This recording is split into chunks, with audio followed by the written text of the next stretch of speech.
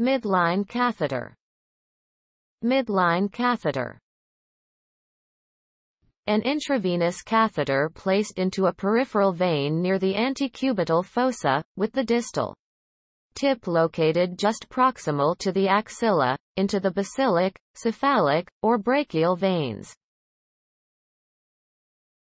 They can range from 7.5 to 20 centimeters, 3 to 8 inches, in length with a single or double lumen, internal channel, and placed with Seldinger's technique and ultrasonography.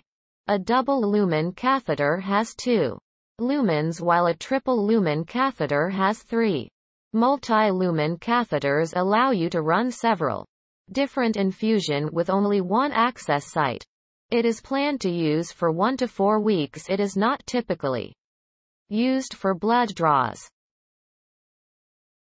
It can reduce cost, avoid repeated venipunctures, and decrease incidence of catheter-related infections comparing to short peripheral catheter. The most common complication is insertion-related phlebitis for irritation of the lining of the vein. Usage hydration, intravenous solutions, pain medications, some antibiotics, analgesics.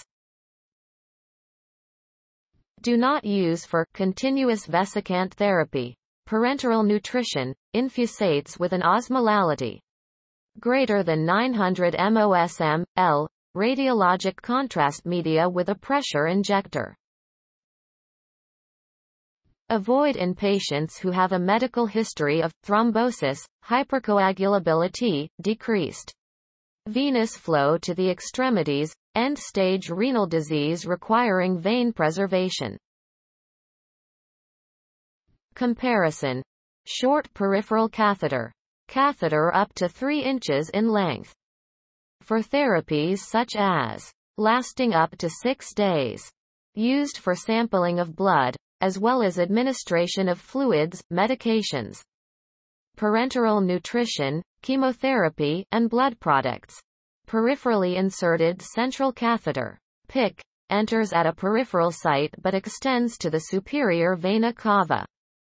Used for a prolonged period of time, e.g. long chemotherapy regimens, extended antibiotic therapy, or total parenteral nutrition, or for administration of antihypotensive.